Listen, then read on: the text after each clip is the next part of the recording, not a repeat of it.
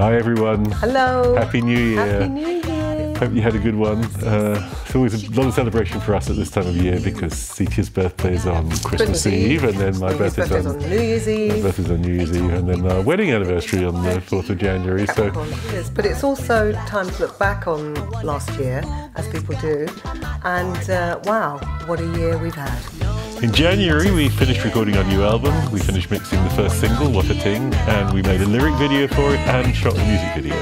And I did a really fun gig in Bath. And in February, we released What a Ting and premiered two videos, and I was on the bill with The Real Thing at the Jazz Cafe in London. In March, we finished off Something I Can Feel, our second single of the year, and What a Ting started getting really good streaming numbers.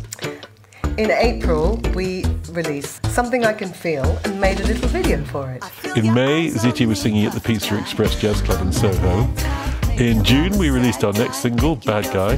And in July, I was singing at the Global Rhythm Festival in Ipswich, at Crazy Coqs in the West End, and at the Reggae and Ska Fest in Skegness. In August, we released our fourth single from the new album, Crimea Rhythm, and we had a premiere of the music video.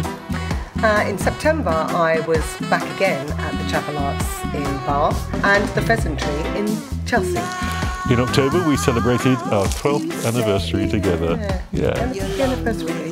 happy anniversary. And in November, we released the new album, What a Ting, and it got great reviews and lots of airplay. In December, we released Baby Girl, the fifth single from the album. And I finished off the year supporting Alexander O'Neal for four nights at the Jazz Cafe. So, thank you all so much for all your support last year. Thank you.